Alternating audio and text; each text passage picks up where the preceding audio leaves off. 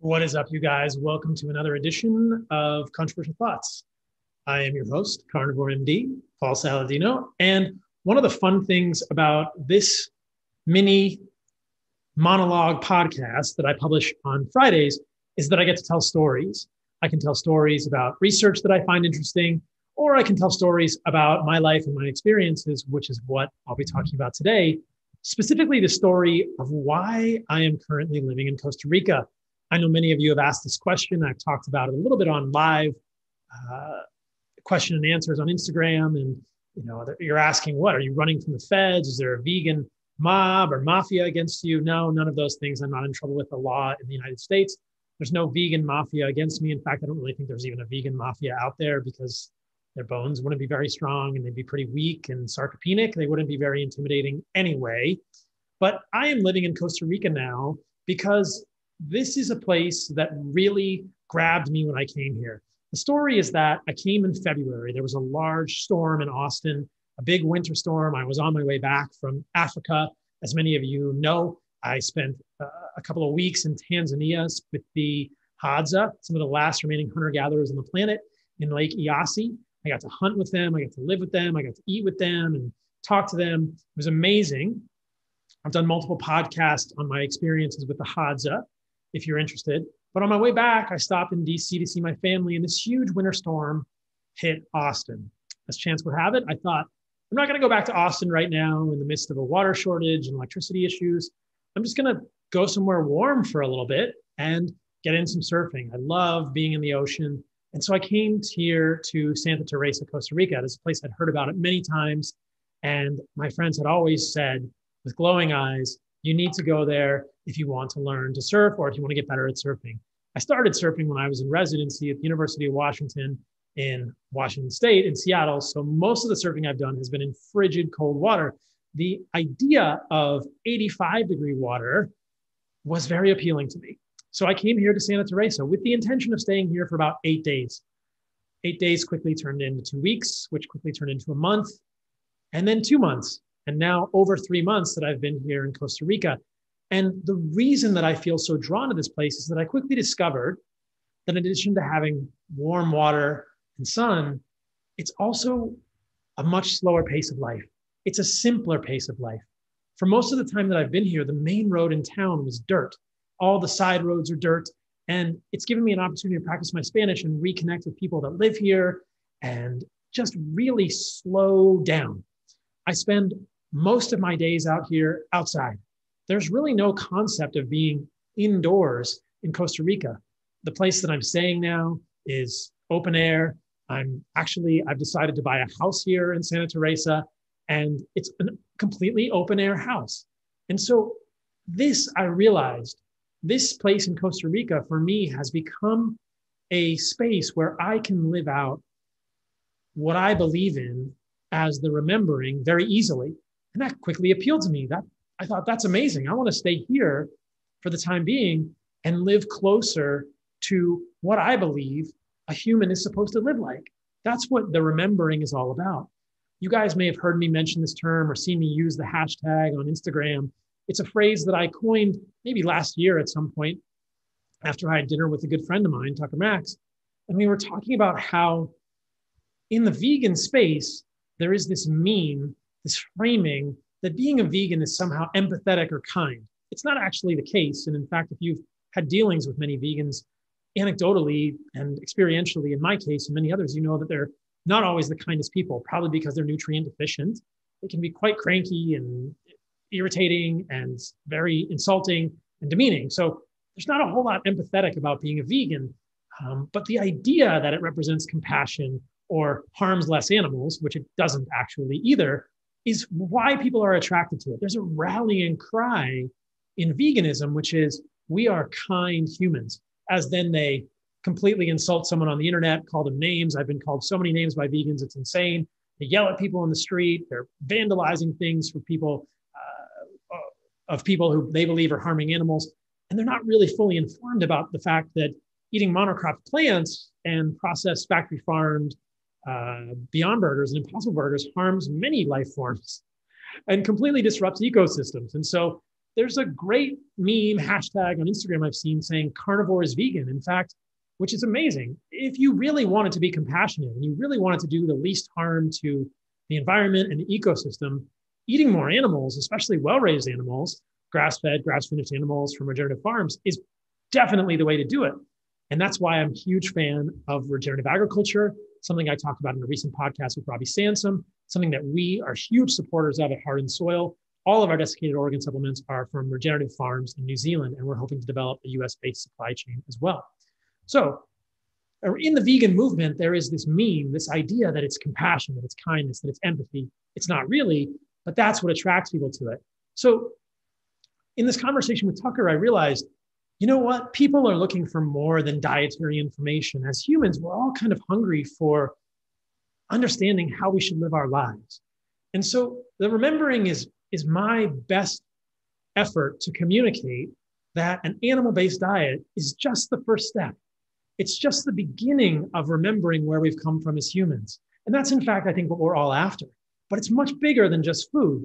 If you guys are new to an animal based diet, you'll know or you may have heard me talk about the fact that it's well raised meat, especially organs, either fresh or desiccated, like we make at Heart and Soil. Our website is heartandsoil.co if you want to check us out. We just got a new one. Go check it out. Let me know what you think. A new website, that is. And the least toxic plant foods. You can always email us, radicalhealth at heartandsoil.co.co. If you want the infographic I've talked about a lot that helps you understand which are the least toxic plant foods. That's kind of the way the Hadza eat. That's why I went to Africa to spend time with the Hadza. I wanted to see how they lived, how living hunter gatherers actually spent their day to day, what they ate. They prioritize meat, they always eat the organs, and when they can, they'll eat fruit and honey. They eat leaves and stems pretty rarely. Occasionally, they'll eat tubers. It's not a big part of their diet, but and it's not doesn't have a lot of nutrients because you may have heard me talk about the fact they spit out the fiber. Not that fiber is really a nutrient for humans in general, but it's mostly just a source of a few starchy carbohydrates maybe a few minerals, but not much. We definitely ate tubers with the Hadza. I did it. There's a video on my Instagram. But mostly they're focused on animal meat, animal organs, animal fat, and then fruit when it's in season and honey. That's the basis of an animal based diet. But it goes much bigger than this. And that's what I saw with the Hadza.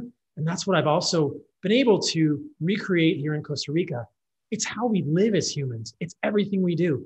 If you guys are watching this video on YouTube, you'll know that I'm ridiculously tan right now because I get to go out in the sun every morning.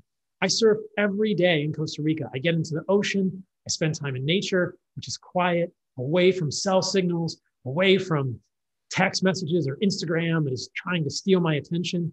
And then I walk out of the ocean and I walk into a jungle and I walk on a dirt path back to the place I'm staying, which is also in the jungle. There's jungle here. There's sunlight. There's ocean. There's a simple pace of life and there's good food.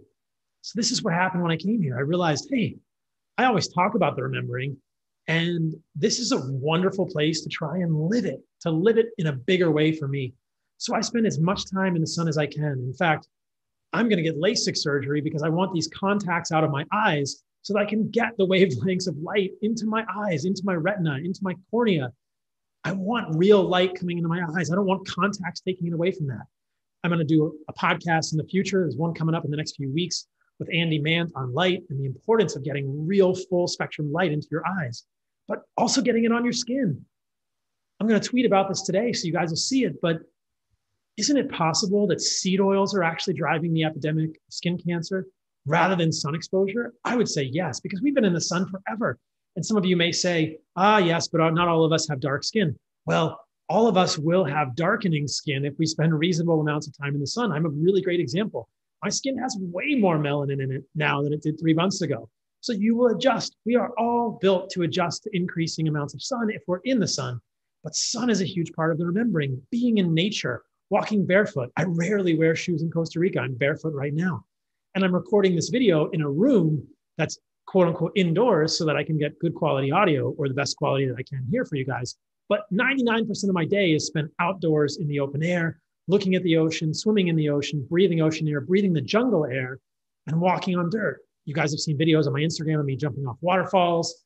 A lot of people commented because the water was kind of brown and murky from the rain. I did not get sick. It was totally fine. this is what we do. We're meant to be dirty. We're meant to be in the dirt. We're meant to be in the sand. We're meant to be in the ocean. We're meant to be in lakes and rivers. We're meant to play. And this is the place that for me has spoken to me in the greatest way and allowed me to live my version of the remembering.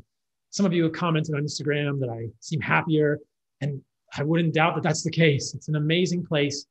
Um, and it's been a real blessing for me to be able to be here to live out something that I think is super important, which is understanding who we are as humans, how we eat, but also how we live. This is what the remembering is all about. We've forgotten where we've come from as humans. When we are told to avoid the sun and slather with sunscreen all the time, we have forgotten who we are as humans. When we are fear mongered into getting a vaccine that some of us don't want or need. Now, there's a whole video I've done on the vaccine if you want my opinions. I'm not entirely against it. It's very controversial. There are some people that may benefit. Listen to that video. This is not a video about the vaccine. But when we're fear mongered into that state, or we're fear, pressed into that state with fear media or fear messaging, we've forgotten where we've come from. We've forgotten that as humans, we're meant to have robust immune systems when we live well, when we're actually in the sun, breathing fresh air, when we have adequate vitamin D from ultraviolet light, being outdoors, not a pill. And yet, what do we know now about COVID outcomes, obesity, metabolic dysfunction, lack of vitamin D? These all predispose to massively worsening outcomes. Imagine that. We have forgotten who we are as humans. We've forgotten where we've come from. And it makes us so scared and so feeble and so fragile and so unwilling to take risks or have adventures or explore. We've become a completely overly civilized to death, to quote Chris Ryan. I did a whole podcast with him a few weeks ago. You can find it on my podcast. Amazing show. We've become civilized to death. The remembering is about becoming uncivilized to life and really getting back to all these things that make us who we are as humans that we have lost. Now, rest assured that amidst all of this surfing and being in the sun, I have continued commitment and I am more on fire than ever to producing good content, clear ideas that are well discussed and well articulated, that are eloquent and well thought out, making my podcast, continuing to develop new products at Heart and Soil, and make the messaging around organs more clear so that we will help more people. So, being the best version of yourself allows us all to do the best work. And for me, I can be the best version of myself right now in Costa Rica. You heard this on the podcast earlier this week with Tim Grover. There's nothing wrong with being selfish. Ultimately, you are the conduit for whatever creative energy is flowing through you, whether that's actual art, whether that's taking care of your family, whether that's working in your job. If you are healthier, you will do all those things better. You can be a better conduit. So for me, I can be a better conduit for information that I hope will benefit all of you and bring more people to radical health, as we say at Heart and Soil here in Costa Rica. That's what the remembering is all about. Being the best version of yourself. It's okay to take time for yourself and do things that you enjoy because that allows you to really be on fire for those other creative projects. And that's the balance I find here. I surf and then I come back and I eat a steak and some liver and some desiccated organ supplements from Heart and Soil. And I can't wait to get into writing or researching or making videos like this that I'm so excited to share content with you guys about. And in fact, I think it's so cool here in Santa Teresa that this is an exciting announcement. I want to start doing animal based gatherings here. You guys heard me talk about this on my Instagram live the other day. I want to do this. Stay tuned. We're going to have a landing page. I'm going to talk about it. You can always email us, radicalhealth at heartandsoil.co if you want more information. But I think in July of 2021, meaning in a month and a half, I want to do an animal based gathering here in Santa Teresa, which means you're all invited. Everyone is invited. It's not going to cost anything. I just want to gather people who are like minded so that we can all surf and throw frisbees on the beach and play volleyball and jump in the ocean and see sunsets and look at the stars and walk on the beach and be in the jungle and jump off waterfalls and eat meat and thrive together and build a community here or build a community that comes here and then goes out into the world. So this is the way that I'm announcing this. There's an animal-based gathering coming in Santa Teresa in July. It's free. The only thing you'll have to pay for is your flight here, your food while you're here, and the hotel. But I'm not going to charge anything for the gathering because it's really going to be pretty low key. We're just going to meet as a group, share ideas, be in community with each other, support each other, share meals, surf, and do whatever you guys want to do here. It's going to be three or four days, and I think it's going to be amazing. I don't want to charge people for a conference and speakers. People don't want to be inside anyway. All we want to be doing in the first place is running around the jungle, exploring and jumping off waterfalls and surfing in the ocean. That doesn't cost anything. I'll figure it out with a hotel. We'll find one hotel here where everybody can stay in community, and we'll spend a lot of time watching sunsets, sunrises, bonfires, and having an awesome radical time. So stay tuned for the animal based gathering in Santa Teresa. These are going to become a regular thing. Look at your calendar, block off some time in mid July, dates coming. Come to Santa Teresa, hang out with me and a bunch of amazing folks because I want to share this version of the remembering with all of you. So that is why I'm in Costa Rica. That is why I believe in the remembering. Hopefully that helps. If you need anything, you can always email us, Heart and Soil, Radical Health at heartandsoil.co. Like I said, got a new website. Go check it out. Let us know what you think. Heartandsoil.co. We make grass fed, grass finished, regeneratively raised, desiccated organ supplements to help you get the most nutrient rich foods on the planet into your diet. And we're opening up Canada shipping again, I believe, tomorrow or today. So lots of exciting news on the organ front. I believe in organs deeply. I think they change lives. This is what we see all the time with testimonials and people who leave reviews about our supplements. Listen to this, guys. Here's a review from Blake.